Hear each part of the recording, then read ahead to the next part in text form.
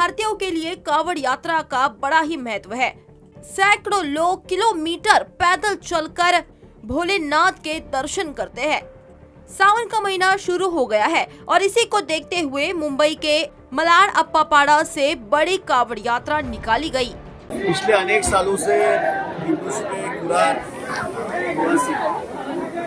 कावड़ यात्रा निकालने की इसकी परंपरा है। और हम सारे लोग बड़े भाग्यशाली है।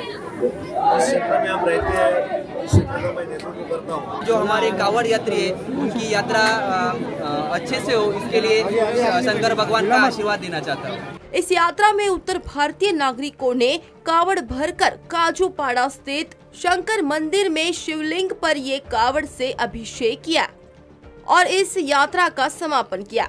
ये कावड़ यात्रा मलाड से शुरू होगी और वजई के भोलेनाथ मंदिर में इसका समापन होगा। हरण महादेव कांवरिया संघ का नया नया अध्यक्ष बना हूँ उन्होंने मेरे सब मित्रगण और कांवरिया संघ ने मुझे चुना है। और ये दूसरी बात, आज हमारा मलाड से, अप्पापाड़ा से तुंगेश्वर महादेव मंदिर वसई भोलेनाथ के दरबार में हम आज 20 तारीख 20 आठ 2023 को हम यहाँ से पद यात्रा निकालने वाले हैं। बाई इक्कीस इक्कीस तारीख को हमारा वहाँ पे सवेरे जल अभिषेक होएगा महादेव के। शिवलिंग के ऊपर जलाभिषेक करेंगे उनको गंगा जल से। महादेव संघ है जो ये लोग सेवा समिति है।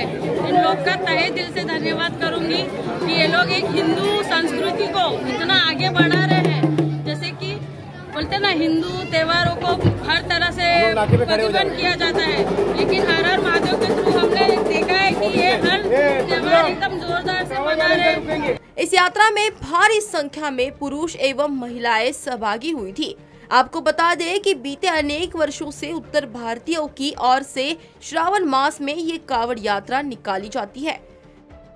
मेट्रो मुंबई के लिए संवाददाता धनुषधारी यादव के साथ अक्षता पवार की रिपोर्ट।